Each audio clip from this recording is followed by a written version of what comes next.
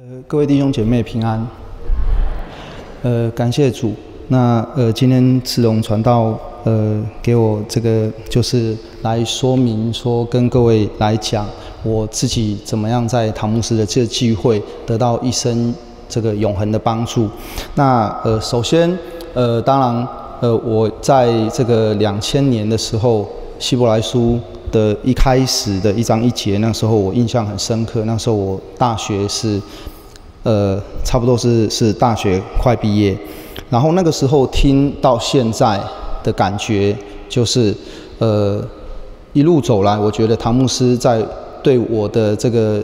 影响里面是在他的话语上面。那我发现唐牧师每查一卷书，他对于神话语的那个仔细的程度是让我很吃惊，而且非常的严谨。那这个影响了我，就是我自己在读圣经的时候，我也开始去注意说，为什么他可以查圣经查到这样的仔细，然后这样的严谨。那我也看到说，真正保罗所说的上帝的话是高过一切世上的小学，所以我那个时候我记得，呃，我就想说，我也想说啊，那我要找到在听到的过程当中，随着唐牧师的查经里面，我就想说，那我也要把这个学问，如果可以的话，我可以把这个读到读到这个。如果可以，我就读到博士。然后呢，如果主拣选的话，我就来奉献。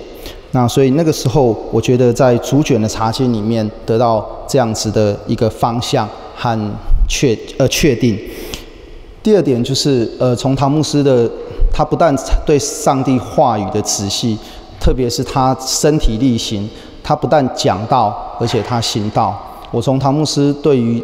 整个这个福音运动对于神国度的眼光，它尾声在这个当中，然后到世界的各个国家，特别亚洲这几个城市巡回布道的这个身体力行里面，我可以看到说，唐崇牧师确实他。不但是传说神的话语，他自己是找到他的人生方向，他也真正照着上帝的话去这样去做。那因此，我就可以成为我的榜样，成为我最好效法的一个一个对象。那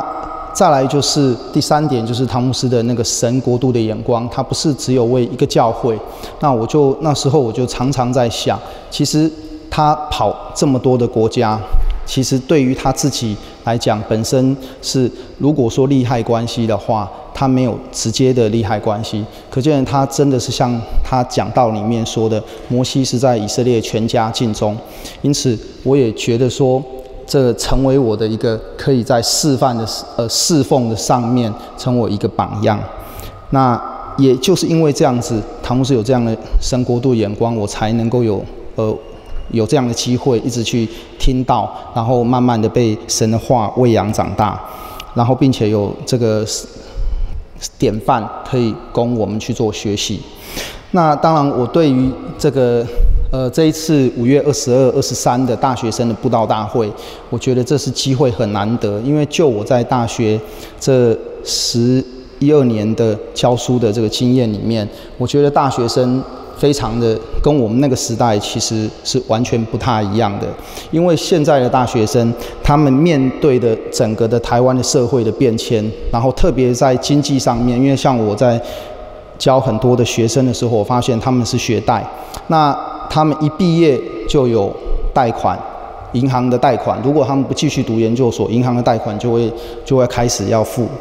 那现在的学生的起薪确实也没有比我们那个时候高多少，甚至呃整体的环境甚至是更更激烈、更糟的一个情况。所以台湾社会多元以后，其实带来更多的是不确定感。那这个不确定感反映在年轻人的身上，其实是蛮明显的。然后再来就是呃现在的学生。就我们一些老师在讲的时候，因为我们当导师的，有些当导师的话，就可以发现班上大概有可能蛮高数量是单亲家庭，还有呃可能父父母是离婚的，然后或者是这个隔代教养，或者是这个甚至有同性恋的问题，那这些都是跟我们以前十几年前。或二十年前比，其实是不一样的。那我觉得现在的大学生确实是面临的不但经济的压力，而且他们本身的背景其实也有很多的这个更值得我们去同情的。可是呢，就像汤姆斯说的，就是我们呃。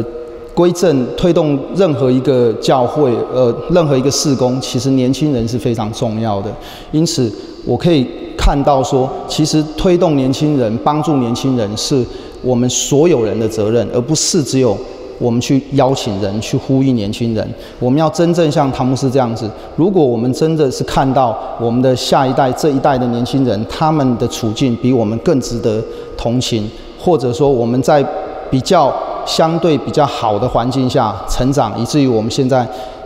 有一些的这个这个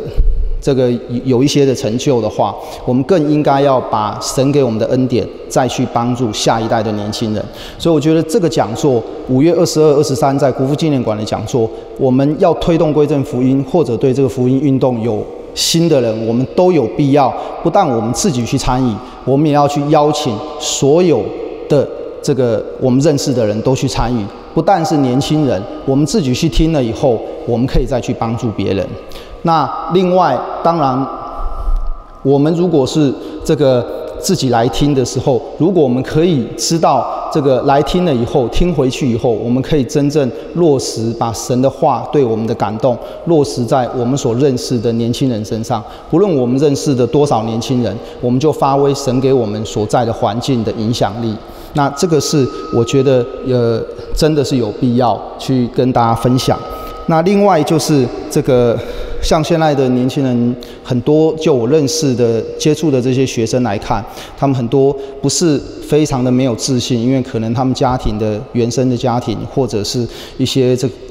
这个呃就是一些一些社会的情况。那其实他们。常常会有两种极端，一个就是过度自信，一个就是非常没有自信。那通常这会造成他们在人生的规划上面，他们不太敢规划五年以后、十年以后，或者说我三年以后，我大学毕业以后我要做什么？因为他们想到的就是我大学以后就要被银行讨讨钱，如果我继续读研究所，那还有学贷继续在累积。那所以他们造成他们在做计划的时候，他们在做生涯规划的时候，不像以前。我们不会绑手绑脚，他们是更加的绑手绑脚。那也因为这样的原因，所以呢，这个他们的信心怎么去建立？我相信这要回归到神的话语上面。因此，这个这个二十二、二十三这个聚会是非常非常好，也非常非常重要。唐牧师他一贯的讲到，我相信在座的每一个都听的都是很长期的去听唐牧师的话，你就可以知道说，其实。从这个讲座，我们必定可以为我们的下一代，为我们真正教会未来希望，就是这些年轻人找到真正的方向。所以，我们有必要我们自己来参加，就算我们是中年人或者是任何年龄层的，我们都来参加。不但如此，把我们认识的人也来，也邀请来，尽可能的邀请来，一起来参加这个重要的聚会，然后把神的话给我们的感动，在回到我们的岗位上面的时候，再传给更多的人，这更多的年轻人。好，那以上这个是我的一个大概的见证。那我很希望说，就是呃，最后跟大家来勉励的，就是我们保罗说，呃，我们自己就 就像我自己，我自己是最后我也要降服在神的带领之下。我想，如果神用我们，我们就是要努力的去奔跑。因此。就是用保罗说的，我，呃，要从那呼召，从上头呼召我们要得的赏赐，我们要努力的向前去奔跑。好，谢谢大家。